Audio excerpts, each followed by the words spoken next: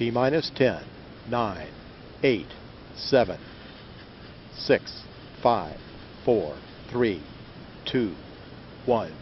And ignition and liftoff of Ares 1X. Testing concepts for the future of new rocket design.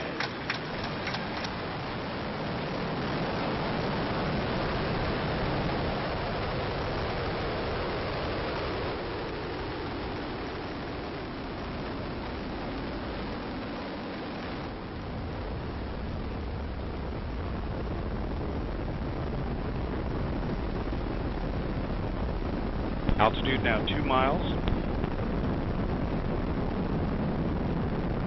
Chamber pressure now tapering off as designed. Vehicle is lining, aligned itself with the planned trajectory. We passed Mach 1 and we're now passing Max Q. We have our Max Q system ID maneuver PTI engaged. Solid motor chamber pressure picking up again. T plus 62 seconds. Now passing Mach 2. Vehicle now 10 miles altitude, downrange distance 8 miles, and a velocity of 1,540 miles per hour. Plus 80 seconds, we've started our supersonic large amplitude ID maneuver PTI. We see the response.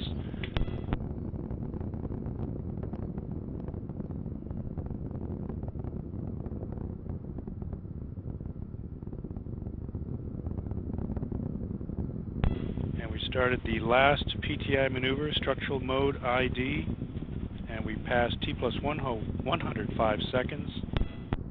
Vehicle's now traveling Mach 4, 20 miles altitude, downrange distance 32 miles.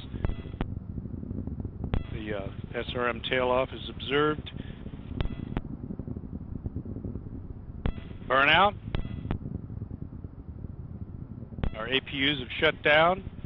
CRDs have shut down. BDM fire and SEP. We show a SEP and a tumble motor ignition. And we can also confirm on video.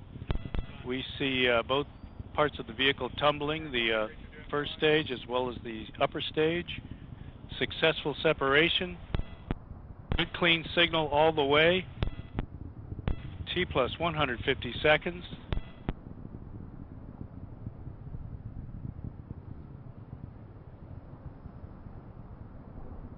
We'll have a burnout orbit uh, parameter in just a second. These numbers were calculated right at burnout. The height of apogee 21.92